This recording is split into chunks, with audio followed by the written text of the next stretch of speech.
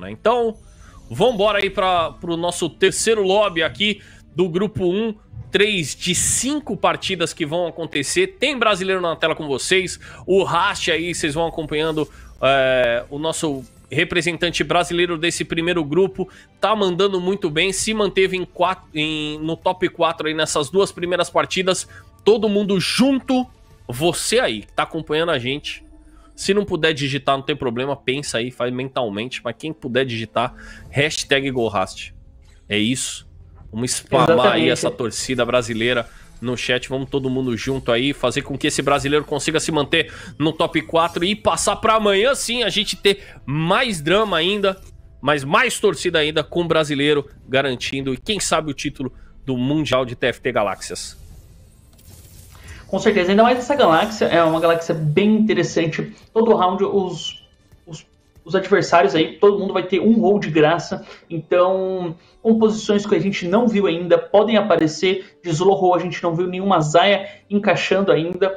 É, os jogadores vão começar a, a, jogar de frente por contra as galáxias e essa com certeza é uma galáxia que pede alguma coisa é, três estrelas. A gente não viu ainda é, composições assim aparecendo dando certo. O Voltarius conseguiu um Victor 3, mas é bem atípico. Então vamos ver se a nossa, nossa querida Zaya aí aparece, ou os máquinas de combate. Vamos ver o que, que os jogadores aí vão decidir. É, de fato, é bem capaz que a gente veja isso que você falou, Leco. Os campeões de três estrelas, três estrelas aparecendo. A Zaya, é, de fato, é uma campeã de custo baixo que a galera tem essa tendência focar nela, né? Botar ela como carregadora. Então, agora que a gente tem essa, essa, essas trocas, né? Fica cada vez mais fácil desses campeões de, de custo baixo aparecerem. Então, olha, é, como a gente disse das outras das outras galáxias, né? Ah, a galáxia pirata pode aparecer pirata, a galáxia super densa pode aparecer cibernético. Olha, você cantou a bola aí. Eu acho que é, uma, uma saia 3 é, aparece é, aí, hein?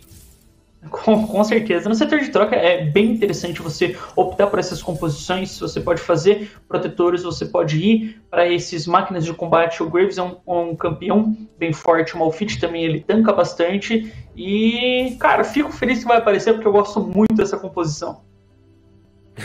é, então aí, ó, viu? Tem o então, pessoal, eu, eu, eu, eu admito que da primeira, o primeiro lobby, quando apareceu ali a galáxia de pirata, eu, eu me animou de ver, porque a minha composição preferida é o de pirata espacial. Uma pena que demorou tanto tempo a aparecer assim, ó. Lembrando que a gente tá jogando no patch 10.18, hein? Que é o último patch que antes do, da mudança do 7. Que, aliás, mudança de 7 é um outro assunto. Exatamente. Ai, a gente ai, tem ai. O, Destinos o... maravilhosos me aguardam. Exatamente, Dócio. A gente tá vendo ali uma máquina de combate aparecendo, então o Bobei provavelmente é, vai estar indo para essa composição. Ele tem a armadura ali para fazer o efeito do vermelho, que é muito importante no Kog'Maw, pelo menos é, nessa composição.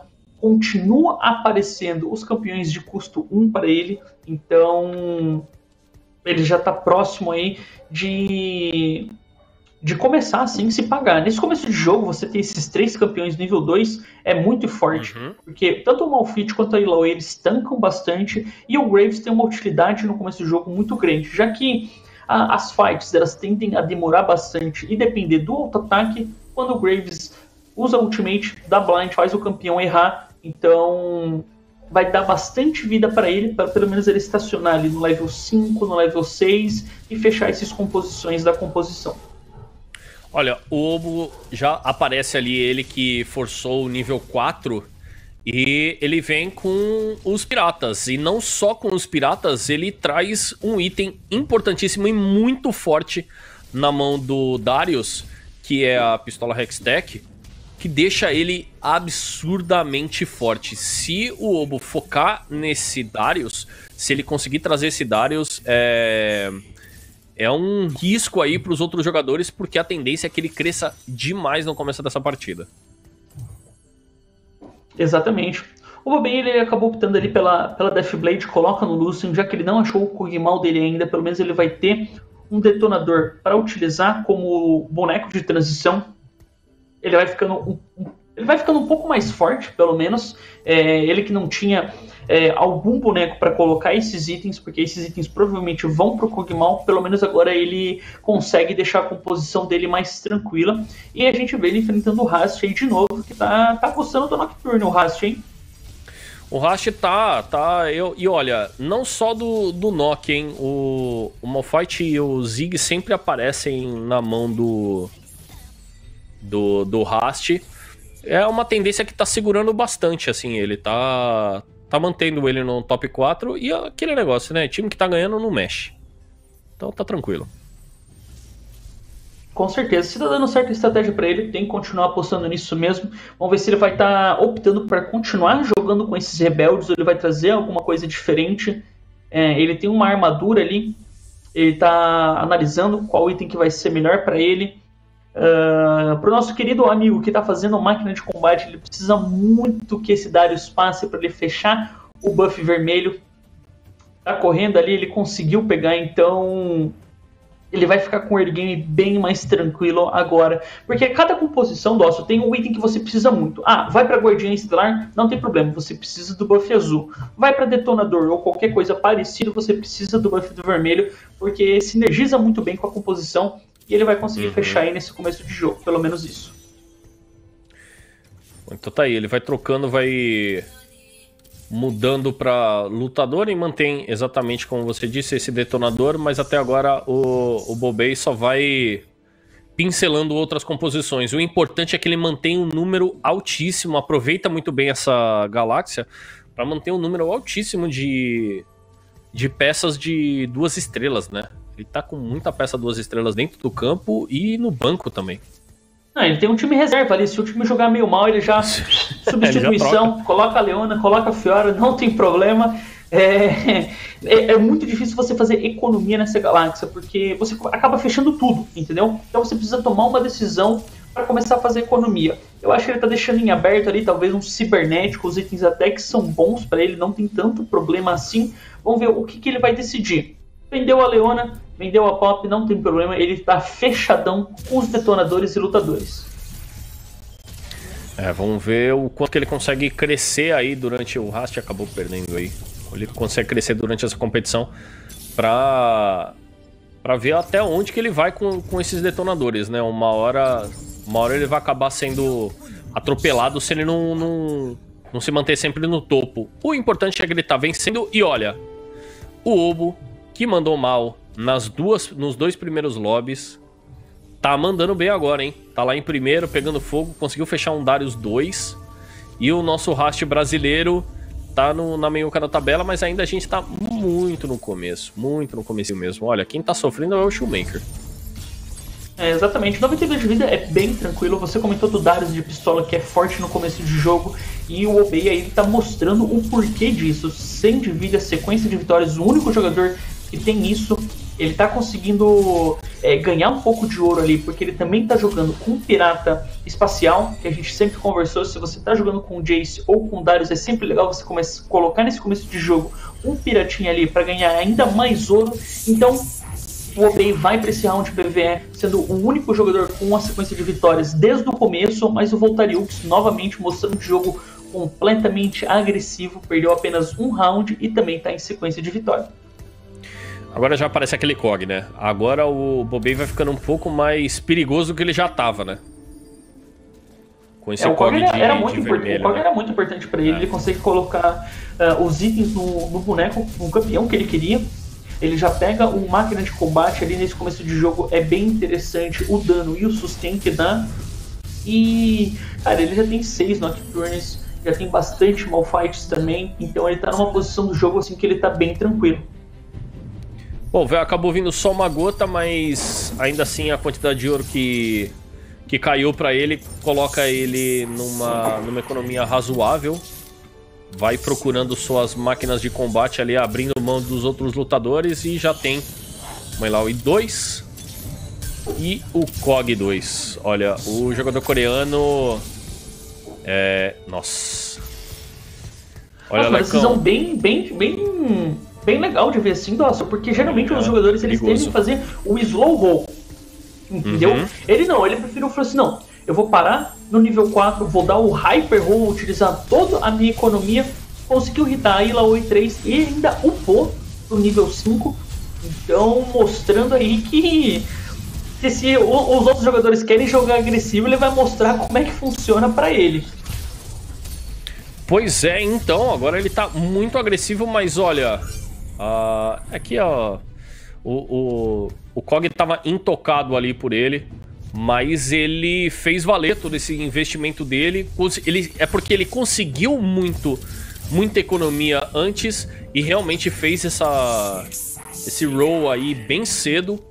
E agora ele só vai aproveitar os louros da vitória. É um jogador que é muito perigoso nesse lobby tá pegando fogo, tá lá em cima, o Votareux também. Nossa, ele teve um, um, pico de poder muito grande. A gente viu uma Zaya 3 ali também. A gente comentou que essa galáxia é, ela é propensa a isso. Se você quer jogar com essas composições de começo de jogo, apostando nos bonecos 3 estrelas, você precisa jogar nela. Por mais que ele não tenha economia uh, nesse level 5, não tem problema. A cada round ele vai ganhar um gol extra para tentar finalizar essa composição. Ele quase perdeu o round anterior porque a linha de frente dele tomou Zephyr, mas agora não tomando Zephyr, vamos ver como é que ele vai se comportar aí contra o Oboi e o seu Darius perigosíssimo. É, o Obo tá muito grande, cara. Esse, esse Darius, ó, vai ultar. E olha, é o, o buff vermelho do, do Kog salvou a vida do Bobei. Porque ele e conseguiu ele causar por... o dano e não curou o Darius. Exatamente. E ele optou por vender um Malfit 2 que ele tinha ali para fazer economia, vender outro Malfit dele também. Cara, é, é, é, muito legal de ver, ver essa, essa postura agressiva. Ah, não fechei o Malfit 3, mas tô perto, tô nem aí. Vendo ele no próximo jogo, se ele quiser entrar no meu campo, ele que venha nível 3, senão ele não vai jogar não. Você não vai jogar não. Ah, lutador tem um monte. Eu pego outro lutador depois. Não tem problema não. Mas é, ele abriu mão do, do, do Malphite, até porque muita gente tava fazendo, olha, o Rast mantém a mesma estratégia dele, agora ele tem dois Ziggs, inclusive, né, pra, pra compor melhor esse Rebelde, e tá dando trabalho pro, pro Bobê, hein. Mas é bem o... forte, o Rumble ele vem controlando bastante. É, por conta da Ultimate, ele já tá nível 2, mas se a gente olhar no, no, no, banco reserva ali do Rast, ele tá segurando duas N's e dois Victors. Então talvez nesse jogo eu acredito que o Rast vai apostar no Mecha do que os rebeldes em si.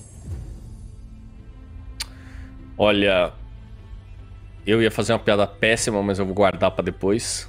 Mas é. Mas é impressionante como o. O Rast mantém a, essa composição que ele fez, né? Que segurou o top 4 dele nas duas partidas e ele vem afirmando e confirmando essa mesma composição dele. Agora, é o seguinte, Leco. Será que não vai ficar manjado demais? Todo mundo vai saber que o. que o, o Rast vai para esse rebelde? Olha, eu acredito que se ele fosse pra Jinx, aquele rebelde que ele mostrou desde o primeiro jogo, poderia ficar manjado. A questão é a seguinte: por mais que a rapaziada saiba isso, eles vão conseguir se adaptar na melhor de cinco, uh, fazer alguma coisa contra isso. Eu acho que é muita informação para os jogadores fazerem alguma coisa. Vem dando certo. Eu acredito que essa outra transição para ele, para ir para Mecha, é muito forte.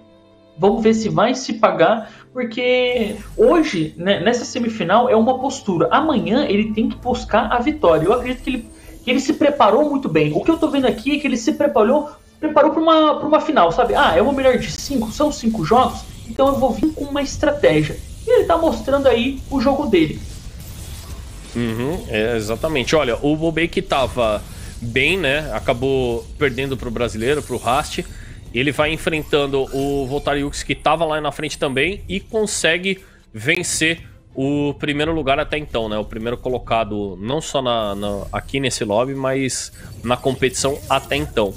Se a gente olha aí, o top 4 tá o Voltariux, o Bobei, o Rast se mantendo mais uma vez no top 4, o Levi empatado com o Rast.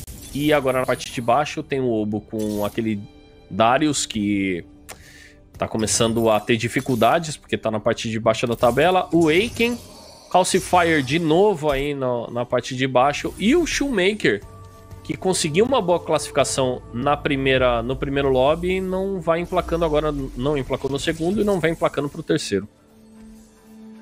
É bem complicado para eles. A gente está vendo mais um campeão três estrelas aparecendo. O Showmaker ele, ele apostou na Zaya. Tá com itens bons, assim, né? não é tão é, ruim essa itemização, é muito forte. Você colocar uma mata gigantes ali, com certeza vai ficar cada vez mais forte. É, eu acredito que falta ainda alguma outra coisa para ele. Ele chegar no pico de poder de seis mestres das lâminas vai fazer com que ele consiga dar a volta por cima nesse jogo.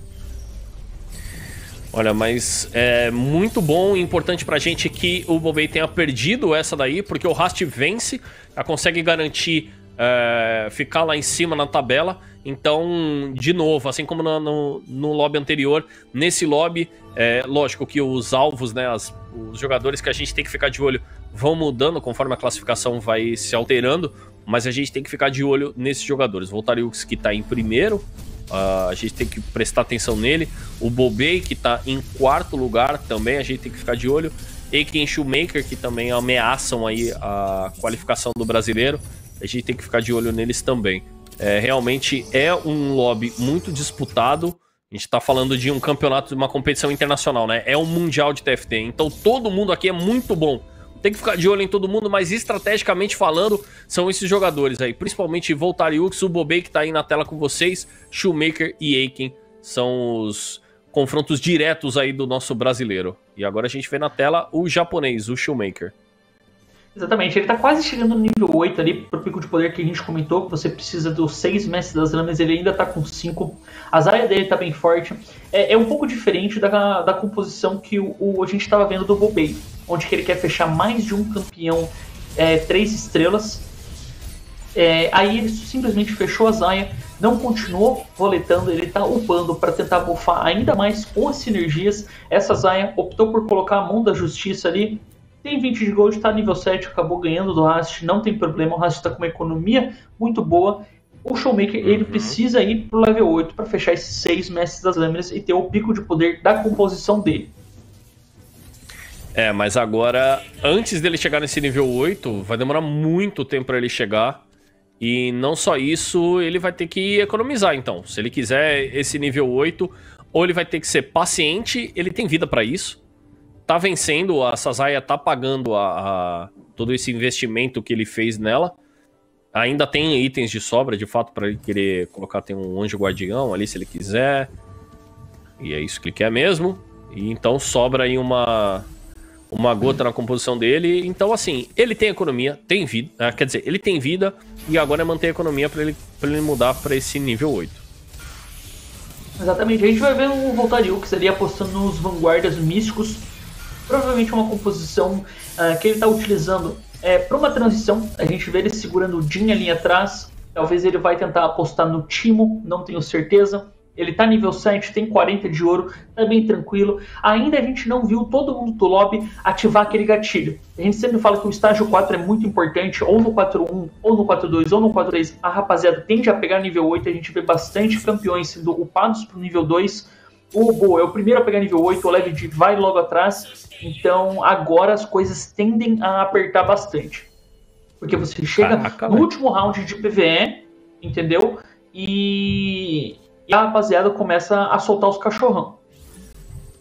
Você sabe ler japonês? É isso mesmo, Leco? Cara. Caraca! Não, porque viu ali, tava escrito em japonês e aí você mandou o Popo Level 8. Nossa! É isso mesmo, produção? Olha, ah, cara, o que, que eu posso falar, cara? Eu, eu ah, sou um cara assim que, que qualidade. Assisti, assisti todos os animes junto com os fillers, né, cara? Então alguma coisa aí me rendeu. entendi, entendi. Mas tá aí, ó, o Shoemaker mais uma vez conseguindo uma vitória, ele já que tá pegando fogo aí, são cinco vitórias é, em sequência para ele vai tirando esse leve D que o Leco muito bem apontou, subiu pro nível 8 e o Shoemaker tá tranquilo, ele não precisa subir pro nível 8 agora, tá sem pressa, porque ele tá ganhando, tá nível 7 ganhando, pra que, que eu vou subir pro nível 8 agora? Exatamente, é o único que tá em sequência de vitória. Ele acabou optando, tirou o Jarvan ali, ficou sem o protetor. Não tem problema, o 6 mestres das lâminas é muito mais impactante do que o ataque speed que o Jarvan dá. Talvez ele nem utilize esse Jarvan pelo fato de só estar tá nível 2, não tem é, talvez uma Warmogs para ter mais escudo do, é, do protetor. Então, tira ele, deixa os seis mestres das lâminas, apenas o Celestial que o Rakan está dando é o tranquilo. A gente está vendo quatro piratas aí em campo, muito legal. Vamos ver se vai se uhum. pagar esses piratas e conseguir equipar aí o, o, o exército inteiro aí em campo dele. Pois é, porque agora quando, quando tem quatro piratas, a chance é, muda, né? E começa a aparecer é, itens, com a chance de aparecer itens também quando os piratas vão derrotando seus inimigos. Então aumenta muito o, o potencial, né? O poder do, do, da sua composição. E só que assim, o quanto isso vai demorar, né? Quanto, será, que, será que vai dar tempo da tua composição crescer com esse pirata? Porque o forte mesmo, de fato, do Pirata 4 é aparecer os itens. Mas será que vai durar o tempo dos seus itens aparecerem? Bom, bora descobrir agora então. O Robei aí enfrentando o Shoemaker. Vamos ver se o GP vai ter uma ultimate bem impactante. Não foi tanto assim, a gente não viu nenhum item ainda indo pro Obey.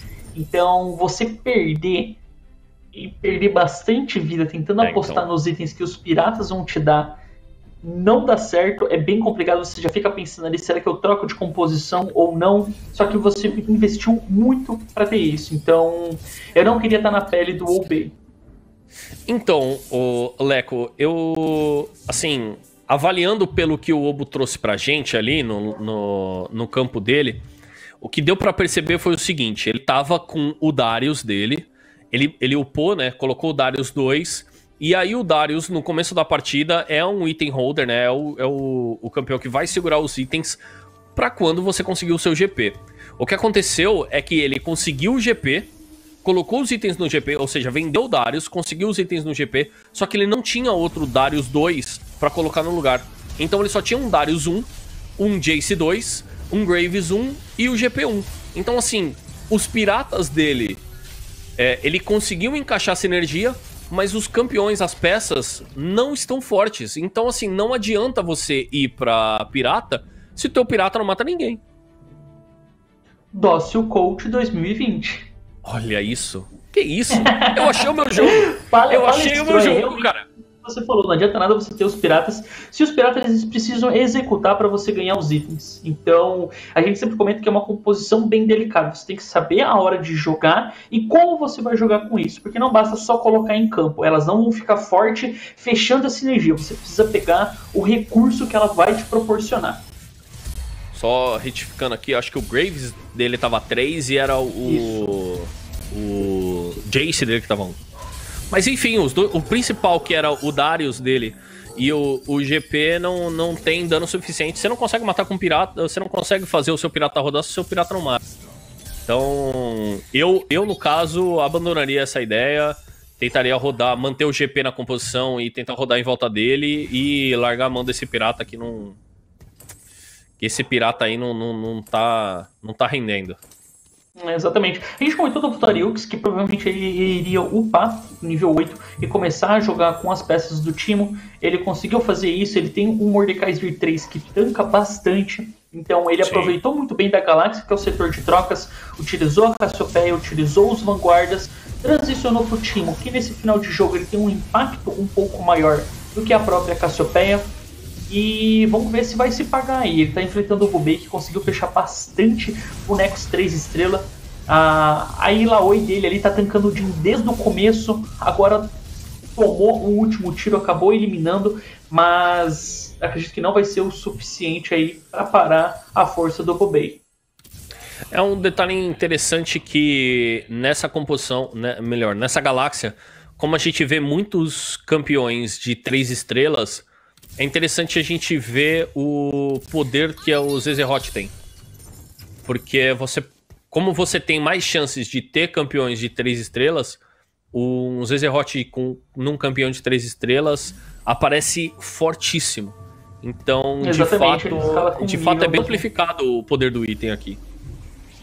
É, se paga bastante, você, você, você já tem um campeão uh, três estrelas que tem bastante vida. Ainda vindo os Zizrod com mais vida ainda, é, faz bastante a diferença. A gente vê o, novamente o GP tentando esse dinheiro extra. os místicos do Voltariux vem fazendo. Ele consegue um item ali e já coloca em campo a espada na Jinx para ver se dá uma motivada. Ela conseguiu o reset, mas tem um Mordekaiser na frente dele, muito Tarde forte. Demais. Não consegue e fica em oitavo lugar.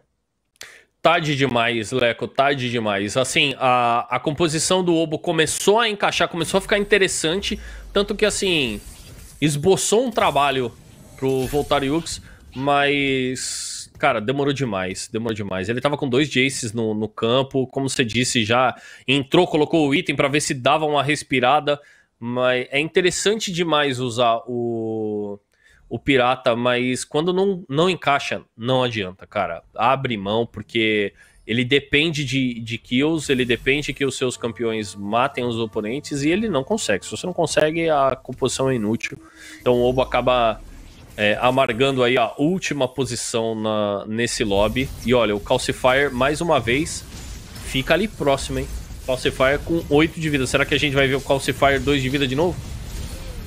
É, ele tá com o Chaco bem buildado ali, tá tentando matar o Jin, consegue matar, vai pro Anjo Guardião, tem um Mordekaiser que tá muito forte para esse Chaco matar. Ele perde o escudo, mas já vai conseguir novamente. Não sei se vai ser o suficiente. O Jin já, já vai pro já Anjo é. Guardião. Última vida do Chaco, não deu muito certo. O Calcifar vai dando adeus, fica na sétima colocação. Voltareux mostrando mais uma vez um jogo é, bem sólido assim por parte dele. Olha, o que é difícil pro Calcifier e pro Obo, que são os dois jogadores que durante aí a maioria dos lobbies é, se mantiveram, na verdade os lobbies eles se mantiveram no, no bot 4, mas em posições muito ruins. Importante mesmo é que o nosso brasileiro, o Rash, tá lá em primeiro lugar com 57 de vida. Olha, o Aiken tá com 8, tá perigando também ficar nesse bot 4 aí na competição. Mas ainda assim é uma situação complicada, não é safe, tá? Viu, galera? Vocês que estão assistindo aí, não tá safe ainda pro Rast, porque o Levi que é o último, né? O melhor, o penúltimo, ele tá com 30 de vida só. Aí depois vem em seguida do Shoemaker com 45, Botaricos com 50, aí tem o Bobei 55 e o nosso Rast que fez um GP2 tá com 57. Agora sim veio o Rebelde com GP, hein? É, graças a Deus, o GP que não queria jogar no jogo passado falou assim: não, tudo bem, descansei um jogo agora, treinador, me coloca em campo aí que eu vou mostrar. A gente vai voltar o que enfrentando o Live G. Ele que tem uma Nico 3, é um boneco muito forte. Vai ter que depender do Jin conseguir passar por ela no último tiro para não dar o dodge. Ele vai para o Guardião, acaba voltando. A Soraka consegue curar. É muito tempo que essa Nico compra. A Sandra vai conseguindo estacar. É, por mais que esse Mordekaiser tenha a garra do dragão, a Sandra com Sim. todas essas orbes consegue passar por isso e garante a vitória. Que foi que nem você falou assim, o Lev G tá com 30 de vida, mas ele tá forte. O Rast acaba perdendo e a composição dele vai ter que encaixar. Ele fechou o GP2, mas vai ter que trazer outras coisas para garantir aí esse top 4 ou top 3 desse terceiro jogo. Olha, o Aiken acabou caindo, então só tem mais um jogador aí para cair, a gente tem definido o nosso top 4, mas eu vou falar para você, Leco, que esse daí é o lobby mais perigoso e mais tenso até agora. É o lobby que eu tô com mais, mais aflito aqui de ver os jogadores. Porque, e eu quero logo que um caia, que não seja o Rash, claro. Mas eu quero logo que um caia, porque tá todo mundo muito parelho é todo mundo muito forte, Dócio, porque tá todo mundo com esse roll grátis é, a cada turno. Então, o Shoemaker, ele tem uma Zaya 3, o Voltariux, ele tem um Mordekaiser 3, o Bobei, ele tá com vários campeões de nível 3, e o Rast, ele optou por uma composição que ele não foi para um campeão nível 3. Então, vamos ver se isso uh, vai ser um problema para ele ou não. Bom, tá aí. Enquanto isso, a gente vai é, avaliando um pouco mais a composição. Tava avaliando um pouco mais a composição do Voltariux. Mudamos para o Bobei na tela com vocês aí. E agora tem. Olha, tem um desarme na mão dele. Apareceu duas BFs ali.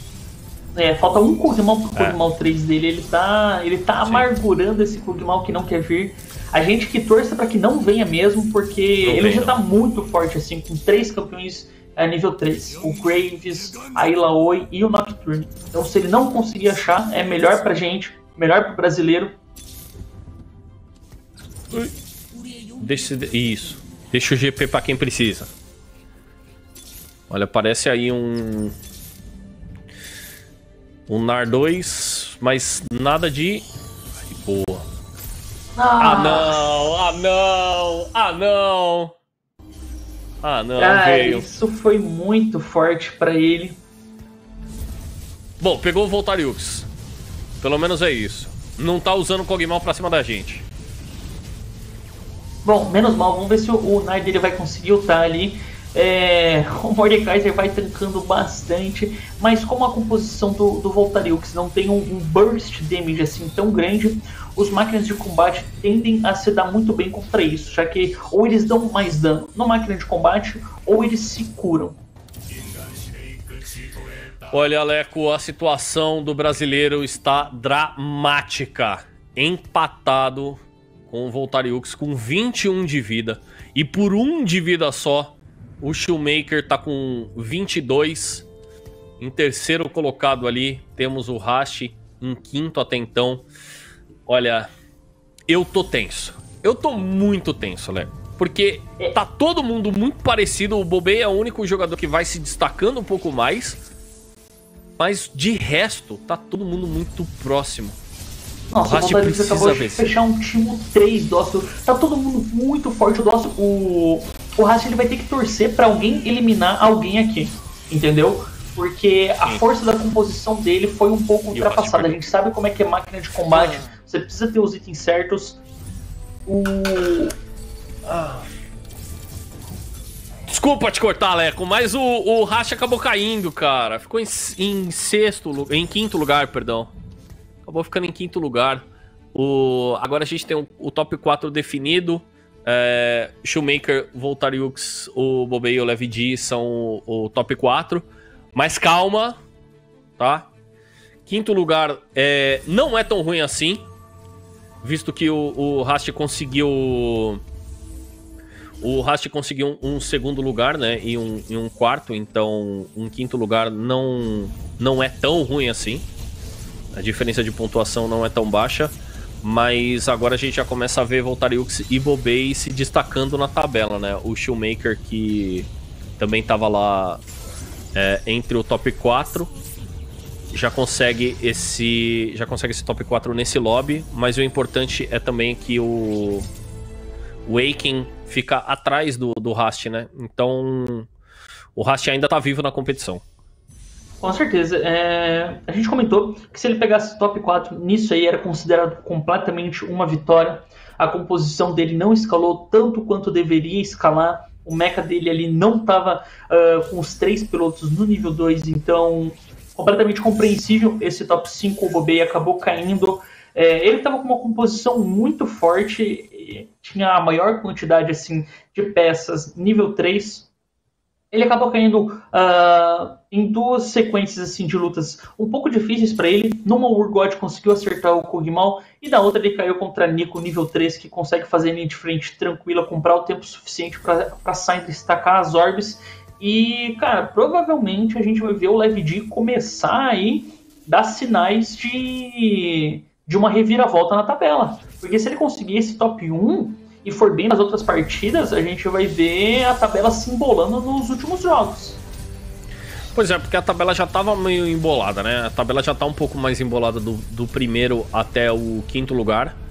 Então, e, de fato, os dois únicos jogadores que estão mais afastados de todos os outros é, jogadores é o, o Obu e o Calcifier. De resto, todo mundo ali tá, tá lutando bem para se manter vivo na competição.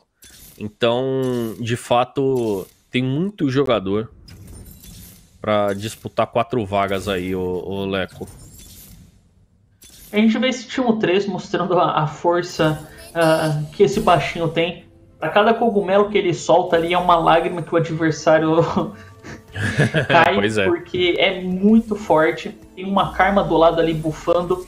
Uh, por conta da Irene infiltrada, ele resolveu colocar o bolinho ali do lado do time Tudo bem, não tem problema se a Karma acabar bufando o Wukong, no 50-50 acaba bufando o certo. A Irelia pula ali, vamos ver se a garra do dragão vai ser o suficiente para parar esse Timo. Nossa, o Timo tá gigante. Ele acaba recebendo o debuff da Lulu, segura ele muito tempo e olha aí, ó. O Urgot fala assim: hum, hum, hum, Timo aqui não. Cara, a gente viu o impacto que esses Urgots do Shoemaker tá fazendo. Num, numa luta ele conseguiu puxar o Kug'Maw, na outra conseguiu puxar o Timo. Então o Voltarius vai ter que colocar um posicionamento aí bem interessante pro Timo. Ele acabou pegando o Manamante do alto ataque da Irelia e, e atrasou bastante o dano dele. Vai ser uma batalha de posicionamento. Quem posiciona melhor vai levar esse jogo para casa. O Timo se fica livre no combate, ele consegue limpar sem problema algum. Faltou uma ultimate ali, na hora que ele foi ficar livre, a Lulu transformou ele em bolinho.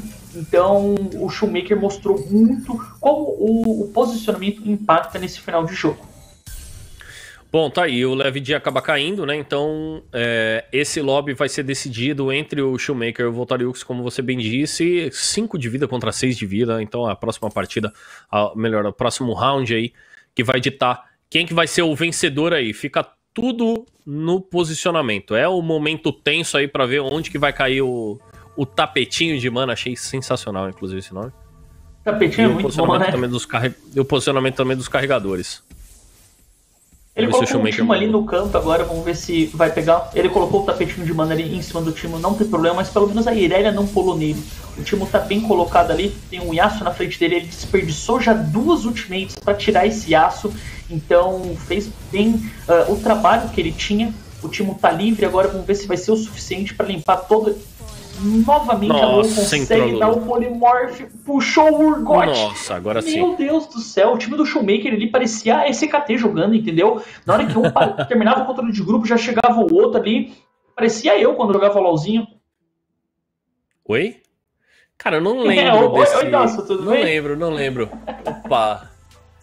Leco, não. É, mas é isso, Leco. Realmente uh, a gente tem aí mais um lobby finalizado. Infelizmente é o primeiro lobby em que o brasileiro Rast não consegue ficar no top 4. Mas, assim, quinto lugar, é, de novo, tem muitas chances do, do Rast conseguir esse top 4. Sem dúvida nenhuma, a disputa tá bem acirrada desse, entre todos esses jogadores. É, de fato, só tem dois jogadores ali que estão um pouquinho mais fora da curva, mas ainda assim é, a gente mostra, na verdade, o jogo se mostra todo esse potencial, toda essa força que os europeus têm, né? O, os dois europeus estão mandando muito bem, mas principalmente Voltariux, o Shoemaker agora revive na competição, né? Com certeza, o Levy ele mostrou ali que, que sabe jogar, trouxe a composição assim que ele está mais familiarizado, ele joga muito bem de Guardião Estelar, é, com composições parecidas com Piba. Uh, a gente sabe que está muito forte no meta. Talvez no primeiro ou segundo jogo ele tentou alguma coisa diferente, viu que não deu muito certo. Nesse terceiro jogo ele voltou para a zona de conforto dele, deu certo. Só foram três jogos nesses últimos dois. Com certeza a tabela vai embolar muito porque os jogadores estão vindo por tudo ou nada. Quem está embaixo na tabela vai vir para tirar o primeiro lugar. E quem já está no topo, que nem o Rast, tem que tomar cuidado, porque ele fez uma composição não tão forte que a gente já tinha comentado, mas eu acredito que ele escolheu a galáxia errada. E os jogadores que ficaram em quarto, é, naquele top 4, todo mundo tava com um campeão três estrelas. Até quem foi para uma composição é, de astro, é, atirador de elite, ele conseguiu um Mordekaiser, então eu acho que ele não usufruiu tão bem assim da galáxia quanto ele poderia ter usufruído. De fato, Leco, e olha que a gente viu é, esse uso, o, o bem uso, né, da, das galáxias em todas as, todos os lobbies até então.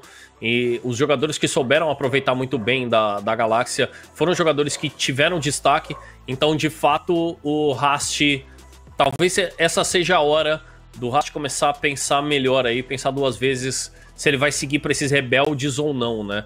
Será que a gente vai ver de novo o Rast focando nesse? Não só isso, a gente ver o Rast fazendo rebelde é uma coisa, mas será que os outros jogadores do lobby também vão, vão prestar atenção melhor aí no Rast? Será que ele vai de novo para rebelde? É, exatamente. Ele teve o mesmo começo de jogo, ele transicionou para Mecha ali no finalzinho, uh, tem que pensar bastante, porque agora, tanto no quarto quanto no quinto jogo, as coisas vão apertar bastante. Esse quinto lugar não tem um impacto tão grande assim, é, devido ao fato que ele teve duas colocações boas.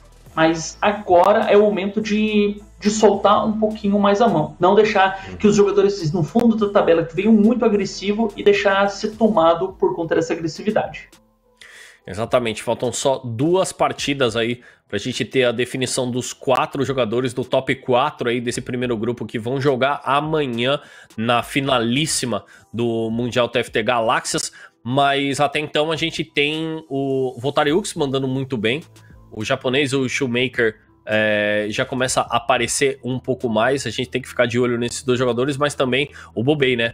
O Bobei é o coreano que na primeira partida ficou meio de fora, mas na segunda e agora na terceira partida já se mostra um jogador de extrema qualidade, né, Leco? A gente tem que ficar de olho no, no coreano sim, porque é um confronto direto aí por, por uma colocação na tabela.